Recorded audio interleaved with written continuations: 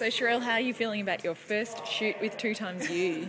I'm feeling really excited. I love getting my hair and makeup done actually. It's so nice just to sit back and be pampered a little bit. So, yeah, I'm looking forward to it. yeah, and do you enjoy photo shoots? Uh, it's. Do I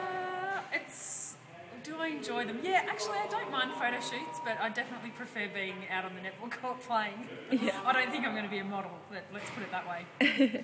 And how do you feel dressed from head to toe in compression? Are you quite used to it now? Uh, reasonably used to it. Normally, I would probably have something over the top, so. But um, yeah, I'm, I'm feeling okay with it. And you had a match last night. Is this probably a, a good option to get into from head to toe It's today? definitely a good option to get into compression head to toe. It's something I normally do after the game anyway, so probably just extended it a little bit longer today. So it's, it's going to be good for. I'll be feeling great next week. Fantastic. And do you have a favourite 2XU compression garment at the moment? Um, definitely the leggings is what I, I love wearing the most. I yeah, slip them on after games and training and on the plane and everywhere. So they're my Fantastic. favourites.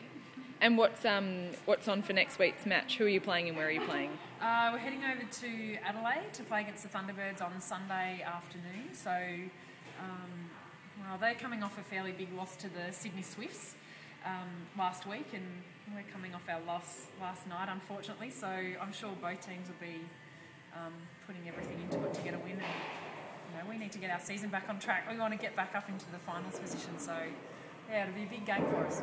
Fantastic. Thanks for coming along. We cannot wait to see the first round of photos. No worries.